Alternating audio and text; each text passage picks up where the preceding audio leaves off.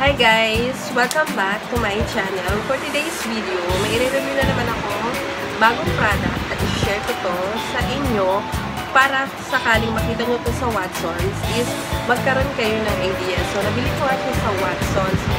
Um, nahilig kasi ako sa lotion. So, nakita ko siya and then sinabi ko na itry ko nga siya kasi nga gusto ko pa rin matry, mag, lang mag-try ng mga product na pwede kong i-share sa inyo. So, ito na nga yung sinasabi ko is lotion, yung um, i-share ko sa inyong product ngayon at yung gagawin ko ng review.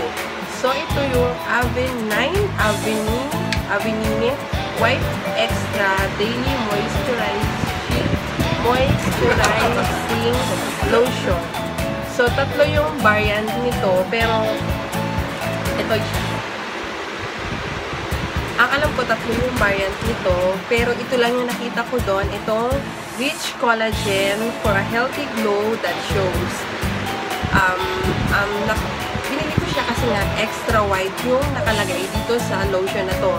So, lighten skin tone, contains pure collagen, helps retain moisture ng greasy and easy absorbing. Yun yung kiniklaim nito. So, nabili ko siya ng 79 pesos. So, mura na siya sa 250 ml. Ayan. Ganito siya, ganito siya kalaki. So, sobrang liwanag. Ganito siya kalaki. So, nakasulat sa likod is ganun lang. Contains pure collagen and help boost skin elasticity. So, direction, in lang nakalagay, apply to dry skin, apply to rough and chapped areas as needed, use daily for maximize results. So, ang alam naman natin na ang hirap pag sobrang dry ng balat natin. So, kailangan talaga natin mag-lotion. Hindi, hindi, hindi natin hindi natin kailangan ng mamahaling lotion. Basta yung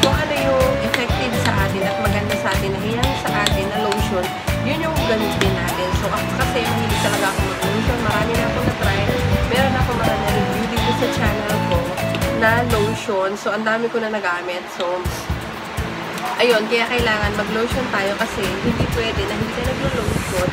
Lalo na ngayon sa um, so sobrang init, lalo na sa mga sunscreen, kailangan natin yun sa ating balat. So, ito is, um, kukunti na lang siya kasi magti 3 weeks ko na siyang ginagamit. So, parang hanggang dito na lang kukunti. Katapos, sobrang lakas kong mag-lotion. So, ayan lang siya, pag binuksan mo. Tapos, yung amoy niya is mabango naman, pero hindi siya yung katulad ng ibang lotion na sobrang bango na maaamoy mo talaga. Sa kanya, wala na. Ang mabango, pero hindi siya sobrang bango. So, ayan, kukunti na lang ito. So, ganito yung texture niya. Ayan. Um, watery yung lotion na to. Ayan siya. Medyo watery siya. Tapos, ang napansin ko lang sa lotion na to, um, hindi siya ganon. Um, sinabi nila dito na easy absorbing. Pero hindi guys, siya ganon kadaling i-absorb ng balat sa ng balat. Yun yung na-experience dito. At yun yung ayoko dito sa lotion ko. Kasi merong lotion na pag pinahid mo, di ba, yung na-absorb agad ang balat mo, ito hindi guys, lalo na pag maraming um, nailagay mo sa kamay mo. So, ipakita ko sa inyo. So, ayan, dito di ba, yung pinakita ko na sa inyo. And then, dagdagan ko. Ayan, dinagdagan ko na siya. Tapos, dagdagan Pag nilagay, in-apply mo na siya sa balat mo, ayan siya. So, ayan siya guys. Hindi, ayan, kita nyo diba? Ang kapal niya, tapos, ayan. Lalo, pag hinahalo mo siya, lalo siya kumakapal, lalong tumatagal yung pag-absorb niya sa balat mo. So, ayan siya guys. Ito yung ayoko talaga dito. Sobrang nauubos yung oras ko sa lotion na to. Pero, wala eh. Kailangan gamitin. Kasi sayang naman hindi mo kagamitin. So, ayun lang. Ganun siya katagal pa-absorb ng balat. Yun yung ayoko dito sa lotion ko. Okay, tapusin ko lang ito. O, diba? Nalay na ngalay na yung ispagdado. Ayun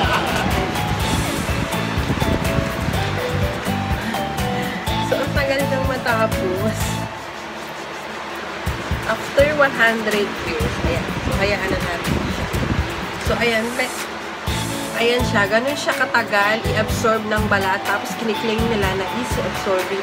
Akala ko nung una, hinayaan ko lang kasi nung una, so, pero nung araw-araw ko na siyang ginagamit, wala eh, ganun talaga. Ang hirap-hirap niya ilagay sa balat, ang tagal-tagal niya. Pero, ayan siya, parang hindi naman siya, hindi naman siya, pero parang may konting whitening siya. So, ayan, konting instant white sa balat. Kasi yun, mas pumuti siya dito sa isa kong braso. braso.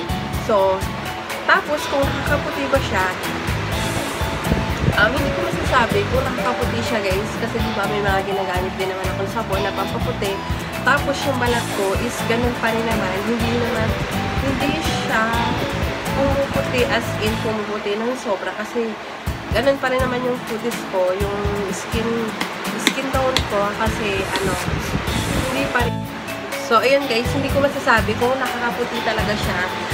Kasi wala din naman silang kiniklaim na whitening dito sa product na to. Ayun nga lang, nakasulat is extra white. Pero nami-maintain niya yung balat ko. Tapos, um, hindi ko lang gusto sa kanya, yun nga, yung yung, parang nag-whiten siya. Yung So, yun guys, hindi ko masasabi nga kung nakakaputi talaga siya. Pero na-maintain naman niya yung kulay ko. Hindi naman ako umiitim kasi meron lotion na nakakaitim siya guys. Diba? Na-try nyo na ba yun? Na nakaka nakakapagpaitim siya pag naglagay tayo. Pero ito, um, kung mauubos ko to, hindi na ako bibili. Kasi alam nyo yun na experience ko na kahit naglagay ako ng lotion, parang feeling, feeling ko is sobrang dry pa rin yung balat ko. Um, kahit, tas, pag na-feeling ko na gano'n, naglalagay ulit ako, alam niyo yun na dry pa rin yung balat ko. Hindi ako mapakali kasi pag gano'n yung nararamdaman ko. So, um, hindi ko alam kung para-recommend ko sa inyo kasi iba-iba naman tayo ng balat. Kasi nga, ayun, ganun yung na-experience ko dito. Mahirap siya i-absorb. Alam niyo yung mahirap siyang i-blend. Parang mukha lang yan. Mahirap din. Make-up, mahirap i-blend sa mukha. So, and then, na-experience ko na dry pa rin yung balat ko. Kaya lang, nakapagpa-maintain naman siya ng kulay ko. So, ayun guys, yung masishare ko about sa um, product na to, sa Avenine, Avenine White Extra. So, kung gusto niyo pong itry, itry niyo po siya. Um, ayun lang po yung isi-share ko dito sa product na to. At sana po na-enjoy kayo at nagustuhan niyo po video na to, huwag niyo pong kalimutan mag-subscribe dito sa aking channel. Bye!